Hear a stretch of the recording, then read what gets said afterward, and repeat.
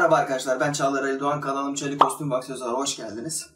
Ee, yapım videolarımıza devam ediyoruz. Hatırladığınız üzere en son yine Nightwing'in kostümü üstünden devam etmiştik. Ondan önceki çalışmamızda Redwood'un maskesini yapmıştık. Şimdi neden Redwood'un da üstünü yapmayalım diye düşündük. Bunun sonucunda da Redwood'un göğüs ve e, karın kaslarını kaplayacak şekilde bir zırh yaptık. Gene yaparken amacım basit tutmak, herkesin yapabileceği bir şekilde yapmak ve hareket kabiliyetini kısıtlamamak.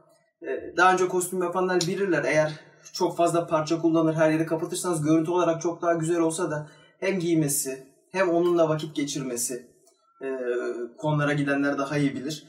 Çok daha zor oluyor. O yüzden daha basit tutmaya çalışıyorum. Böylece herkes hem düşük maliyetle de olsa yapabilir. E, kendine göre geliştirip değiştirebilir. Bu sefer de Redwood'un dediğim gibi üstünü o şekilde yaptık. Önce bir bakalım Redwood neye benzer armorlar giyiyor. Ondan sonra hep birlikte yapımına geçelim.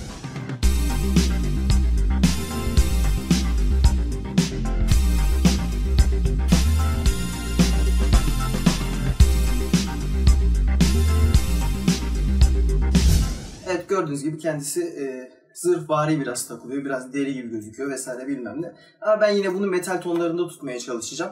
E, basit yapmaya çalışacağım dediğim gibi. İsterseniz hep birlikte başlayalım. Evet kostümü kime hazırlayacaksak onu öncelikle bir mutfak streçiyle kaplıyoruz. İyice sıcakta bayılsın pişsin diye böyle iyice de sıkın. Daha iyi olur. Daha sonrasında daha önce tamir bandı kullanmıştım Nightwing'de ama bu sefer e, maskeleme bandı kullandım. Daha ucuz bir yöntem. Böyle ufak bir skeç hazırlarsanız ne yapacağınız konusunda fikriniz olur. Akabinde de göğüs amblemini önceden hazırlamıştım yine. Onu da koyup göğüs parçasının büyüklüğü ne kadar olacağına karar veriyorum. Diğer parçaları da çiziyorum. Ancak burada kamera ile ilgili küçük bir sıkıntı yaşadım. Şimdi onu size kendim bizzat anlatacağım. Şimdi burada tam olarak sizlere üzücü bir haberim var. Benim için gerçekten sinir bozucu bir andı. Ee, ne yazık ki kameramdaki yaklaşık 2 saatlik görüntü sizlere ömür gitti. Ee, o yüzden böyle bu kısmı atlamak da istemedim. Hani ne, nasıl yaptığımı aslında 3 aşağı 5 yukarı Nightwing'in üst zırhını yaptığımız videoda görebilirsiniz ama yine de burada da hani iyi kötü göstermek istedim. Kullandığım farklı teknikler olduğu için. Neyse ki çok büyük bir kısım değil. Ee, sadece küçük bir parçayı kullanarak yani bu six pack'lerin en alttaki bir tane ufak parçasını kullanarak size yaptığımı tekrardan anlatacağım. Geri kalanın hepsi zaten Nightwing'de yaptığımın aynı. O yüzden oraya bakarak da gene e, çözebilirsiniz durumu. Nightwing'in üstüne yapılış şeyinde buraya bir yere bilmiyorum işte bu tarafta bir yerlere koyacağım. Orada linki direkt tıklayabilirsiniz. Ee, dediğim gibi şimdi o yüzden böyle küçük bir video hazırladım o araya nasıl yaptığımı anlatan. Onu izleyip devamını gene aynı şekilde devam edeceğiz. Evet, temelde aslında o çizdiğim şablonları kesip daha sonra temiz kağıtlara koyup şeklini çizip oradan da kesip birebir aynılarını oluşturuyorum. Sadece bu göz parçası iki kısımdan oluşuyor. Birleşecek noktalara böyle çizgiler atarsanız kesmeden önce ee, onlar size hangi noktanın nereye yapışacağını gösterir. Ben şu küçük parça üzerinden size örneklemeye devam edeyim. 5 mm'lik Eva foam kullandım.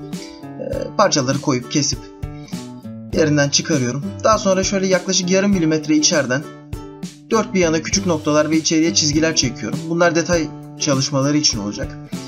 Çizgileri maket bıçağıyla tam derinden kesmeden böyle ufak yarıklar açıyorum öyle söyleyeyim. Köşedeki noktalara da Dremel'in ince ucuyla böyle ufak bir baskı uyguluyorum. Böylece küçük vida ve sanki böyle içeride bir kanal çizgi varmış görüntüsü oluşturuyorum. Isıttığın zaman da bunlar daha net bir şekilde ortaya çıkıyor. Boyarken de bu detaylar daha net gözükecek.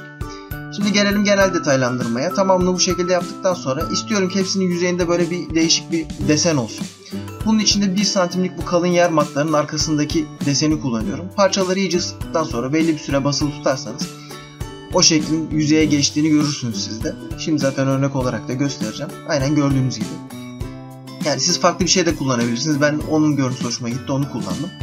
Ee, göğüs parçasının alt kısmını 45 derecelik iç açıyla keserseniz parçayı yapıştırdığınızda yerine böyle aşağı doğru bir eğim olur.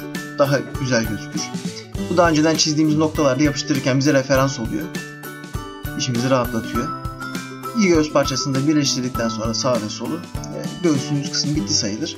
Şimdi geldi amblemi yapmaya. Amblem için 2 mm'lik ince kırtasiyeler satılan standart EVA kullanıyorum. Kenarların tamamı düz çizgilerden oluştuğu için keserken cetvel kullanmanızı öneririm. Daha güzel bir göğüs amblemi görüntüsü elde edersiniz. Bir de ben böyle iki ayrı noktadan iki ayrı çizgi çekip biraz daha detay katmaya karar verdim. Yine aynı şekilde böyle ince çizikler atıyorum ki tam kesmeden ısıttığında onlar daha bir ortaya çıksın. Yalnız gene bu göğüs ambleminde de farklı bir desen olsun istiyorum. Onun için yine ısıtıp bulduğum bu deseni hoşuma giden bez parçasının üzerine iyice bastırdıktan sonra böyle değişik bir hafiften dövülmüş metal görüntüsü elde ettim. Tam istediğim sonuç olmadı ama gene de fena değil. Daha sonra göğüs parçasını önceden çizdiğiniz şekilde yerine yapıştırın. Sıra geldi kaplamaya. Ben 3 kat plastik attım yine. Plastik bu konuda bence en iyisi kaplama için. Kesinlikle tavsiye ederim. Boyama için de Tamiya'nın boyaları yine airbrush'ımda çok e, kaliteli çalışıyor. Çok verim veriyor öyle söyleyeyim. 2 birim boyaya 1 birim tiner kullanıyorum. Gunmetal'ı komple attıktan sonra artık gunmetal kalmasını istediğim yerleri maskeleme bandıyla kaplayıp büyük küçük farklı maskeleme bandları kullanıp koruyorum. Daha sonra da gene Tamiya'nın e, temiz kırmızısı yani düz kırmızısını kullanıp kat ve kat yine atarak kırmızıyla büyük sorunlar yaşayan bir insanım. İstediğim koyuluğu elde edene kadar atmaya devam ettim. Eh, göğüs parçası da bu şekilde daha koyu bir görüntü aldı ama istiyorum ki biraz böyle kırmızı kirlilik olsun. Bunun için de ucuz kırmızı akrilik boyayla böyle iyice sulandırıp daha sonra üzerine yedirip peçeteyle siliyorum. Böylece sağ sol sanki biraz böyle kan sıçramış değişik bir kırmızı görüntü elde ettim. Bu yeter mi? Biraz da kirletmek lazım. Bunun için de aynı yöntemi siyah boyayla yapıyorum. Siyah ucuz akrilik boyayı iyice sulandırıp yüzeye yedirip biraz bekledikten sonra kağıt havluyla yavaş yavaş siliyorum.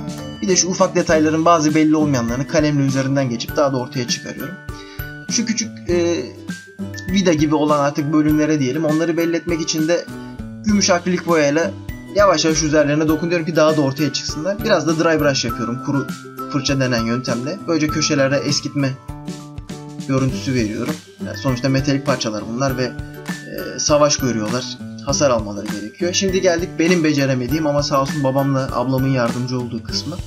E, bir tişörtün üzerine yapacağımız için onun arkasını kesip daha sonra sağ olsun kendileri oraya bir fermuar diktiler. Böylece ben o kısma hiç dokunmadım. Onlar onu yaparken ben de bu parçaları parlak vernikle koruma altına aldım. Gördüğünüz gibi gayet başarılı bir iş ortaya çıkarmışlar. Bunu şimdi sıra geldi mankene giydirip parçaları üzerine yapıştırmaya. Parçaları yerine sabitleyip e, oraları daha önceden kalemle çizip nerelere kontak yapıştırıcı süreceğinize karar verin. Oralara kontak yapıştırıcınızı yedirin. Aynı şekilde parçalarınızın arkasına sürün. 5 dakika 10 dakika bekledikten sonra da parçaları yerine yapıştırın. E, bu süreçte bundan ibaret. Şimdi bakalım sonucu görelim neye benzemiş.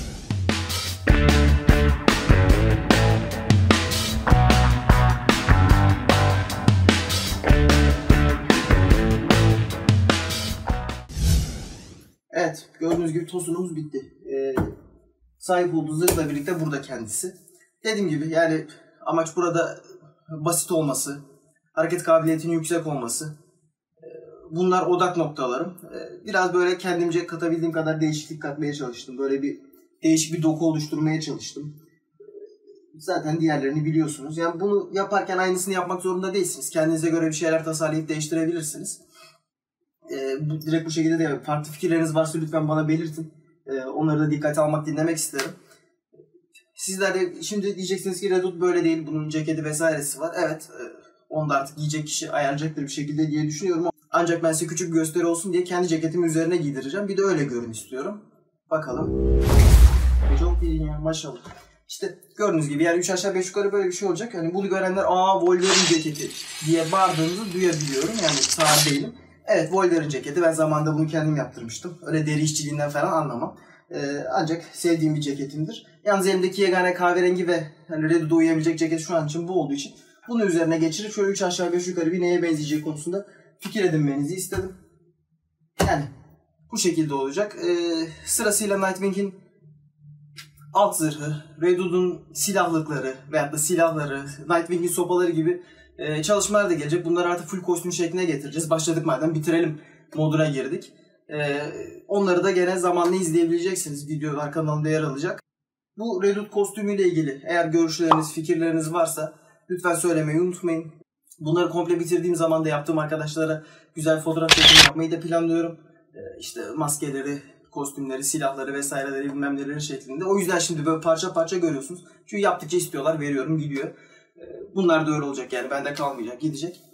Dediğim gibi sizin de fikir ve görüşlerinizi merak ederim. Lütfen bana söylemeyi unutmayın. Kanalıma abone olun, yorum atın. Beni diğer sosyal medya hesaplarımdan muhakkak takip edin. Oralardan da iletişime geçebilirsiniz. Gelecek videolarda görüşmek dileğiyle kendinize iyi bakın. Hoşçakalın.